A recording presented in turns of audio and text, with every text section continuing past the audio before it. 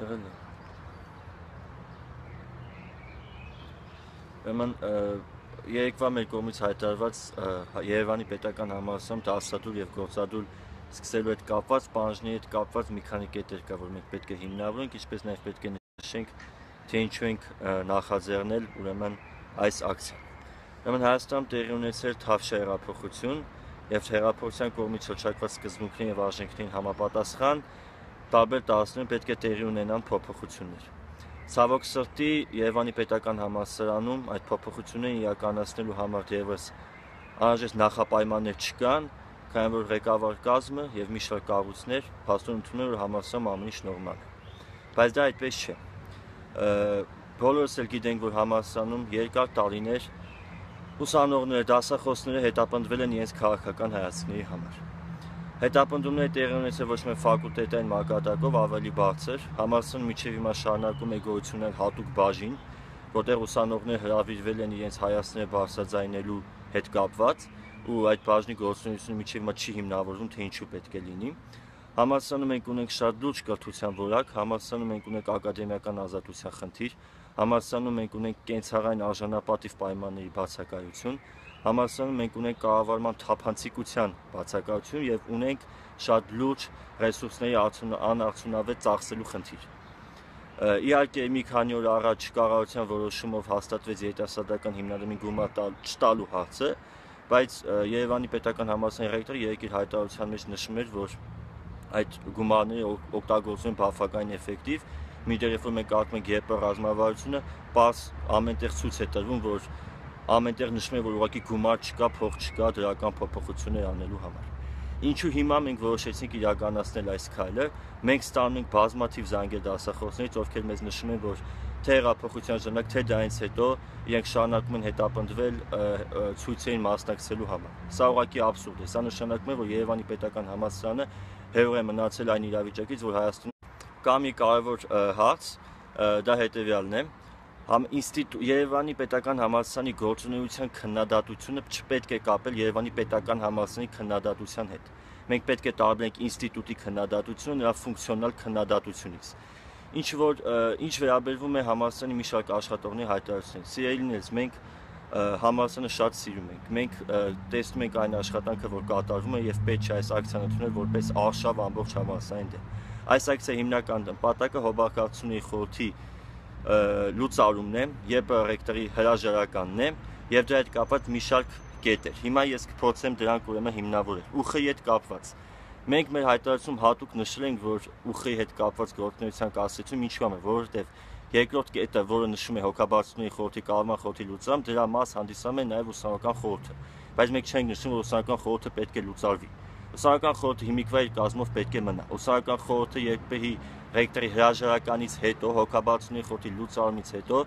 պետք է մեզ հետ, բոլորիս հետ, այդ թվում նաև դասախոսների, կրթության գիտության նախարարության ներկայացուցիչների, քաղաքացիական հասարակության ներկայացուցիչների մշակի պլան, ծրագիր, թե ինչպես համալսարանը պետք է ավելի լավ աշխատի։ Մենք շատ ուրախ կլինենք, որպեսի ՈՒԽ-ում ունեցած մեր այժմ ընկերների հետ կարողանանք ավելի լավ համալսարան կառուցել process-ը միասին իրականացնել։ ՈՒԽ-ի հետ կապված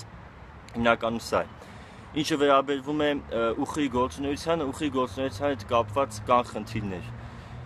նշվեց բացագույն կրթության օրենքի հացը տակետման հացը կամ ինչու է ուխն արձարբեր մնացել այդ անիմաստ ծախսերին, բայց մենք նաև շատ լավ հասկանում ենք, որ համասում այժմ այնպիսի իրավիճակ է, երբ որ ուխն կառավարության որոշումների վրա ազդեցություն չի կարող ունենալ, որտեղ ունի ընդհանուր 25% ձայն։ Սա մենք հասկանում ենք եւ պատրաստ ենք այդ հարցի լուծմանը օգնել։ Բայց միևնույն ժամանակ պետք է նաև ընդունենք, որ ուխի գործունեություն կարող է լինել ավելի արդյունավետ։ Մենք կփորձենք այնպես անել, որպեսզի այդ գործունեության արդյունավետությունը բարձրանա։ Ինչը վերաբերվում է արմիություններին։ Դասախոսները զանգարում են ռեստարտին եւ ռեստարտին են հայտարարում իրենց խնդիրների մասին։ Այստեղ հարց է առաջանում ինչով է զբաղվում արմիությունը, եթե չի պաշտպանում դասախոսների շահերը։ Կարող եք նշել get մի դեպք, երբ որ դասախոսները հավաքվել եւ բողոքել են իրենց իրավունքների համար եւ դա եղել է հանրային process։ Ես այդպիսի դեպք 6 տարվա մեջ ականատես չեմ եղել, բայց մենք գիտենք համասում դասախոսների ինչպիսի արժանապատվության խնդիրներ ունեն։ Դա կլինի ֆակուլտետի ներսում, դա կլինի ԵՊ ռեկտորի հետ կապված, դա կլինի ընդհանուր իրենց գործունեության հետ կապված։ Այդ շահերը պետք է պաշտպանվեն կառույցի կողմից, որը այդ պետք է այդ լիազորությունը իրականացնի, որով նա պարտավոր է դա իրականացնել։ Եթե նա դա չի իրականացնում, պետք է քննարկել այդ կառույցի գոյության հետագա արդյունավետություն բարձրացման քայլերը, միջոցները։ Եթե նրանց գործունեությունը սահմանափակում է կանոնադրությունը, պետք է հասկանալ, որտեղ կանոնադրության մեջ խնդիր է։ Եթե գործնական խնդիրը պայմանավորված է անձերի հետ, պետք է հասկանալ, թե այդ անձերը ինչով են խանգարում այդ process-ին, բայց այն որ պետք է քննարկվի արմիությունների գործնություն, տեղ կասկած ուղակի լինել չի կարող։ Եթե դասախոսները մտածում են ալտերնատիվ արմիություն ստեղծելու մասին, դա նշանակում է, որ ներկայիս արմիությունը չի բավարարում, չի պաշտպանում ուսանողների շահերը դասախոսների շահերը։ Մյուսը ուրեմն կխոսեմ այն հայտարարությունից կապված, որ Նիկոլ Փաշինյանը հայտարարել չպետք է լինեն ակցիաներ, միջոցառումներ, այս խոսքը մեր կարծիքով թյուրն բռնում է մի քիչ տեղի ունեցել հասարակության կողմից։ Երբ որ մենք խոսում ենք ակցիայի մասին, մենք պետք է ուշադրություն դարձնենք ակցիայի ուրեմն իրականացման թեմայի, իրականացման նպատակի, գործունեության մեթոդի արդյունավետության։ Այժմ Երևանի պետական համալսարանում սկսել քննարկումներ փոփոխություններ անելու կապված, երբ որ մարդիկ նշում են, որ 2 միլիոն 600 հազար դրամով սեղան առնել նպատակահարմար, երբ որ 1 միլիոն դրամով աթոռ առնել նպատակահարմար է, եւ մտածում բիզնես մտածելակերպով։ Շատ բարդ է այդ մարդկանց հետ խոսել, թե ինչպես Երևանի պետական համալսարանում պետք է իրականացվեն փոփոխություններ։ ու մենք կարծում ենք, որ կրթության գիտության նախարարությունը ուշադրություն կդարձնի այս հարցին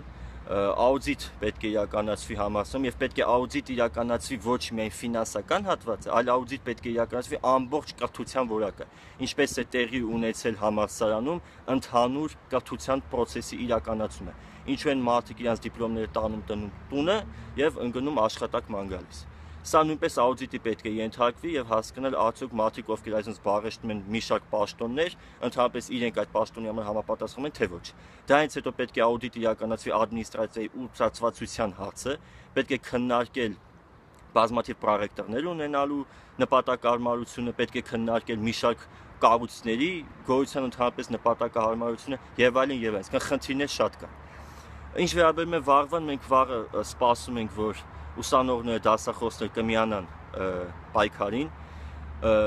Հերափոխությունը դեռևս ավարտված չէ, հերափոխությունը շարունակվում է։ Հերափոխությունը պետք է տեղափոխվի Երևանի պետական համալսարան, որովհետև մենք պահպանված չենք հակահերափոխությունից եւ ուսանողների շահերը, դասախոսների շահերը համահայստանում պետք է լինեն առաջնային պաշտպանության տարածքներից մեկը։ Մենք այդ process-ը սկսելու ենք Երևանի պետական համալսարանից ու գնալու ենք միջև վերջ։ Վաղը բոլորին սպասում ենք, պատրաստ ենք բոլոր տեսակի քննարկումների համար։ Այն մարդիկ, ովքեր դեմ են պահանջներին, սպասում ենք նաև իրենց, տեղում կարող ենք քննարկում ծավալ հասկանալ, թե ինչպես միասին պետք է իրականացնենք փոփոխություն։ Քանի որ շատ մարդիկ նշեցին, որ առաջին, երկրորդ, երրորդ կետի հետ համաձայն չեն, համաձայն չեն միայն 4-րդ կետի հետ, 4 կետի հետ հիմնավորումը մենք տվեցինք, սպասում ենք բոլորին առաջին 3 կետերի հետ կապված պահանջների բավարարման պայքարին։ Շնորհակալություն հարցերի դեպքում ուրախ կլինենք պատասխանել, կհանդիպենք վաղը։